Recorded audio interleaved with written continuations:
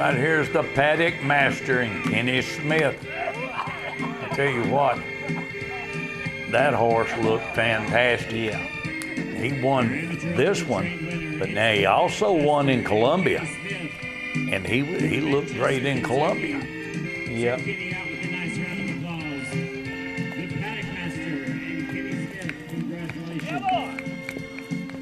a good horse all the way around.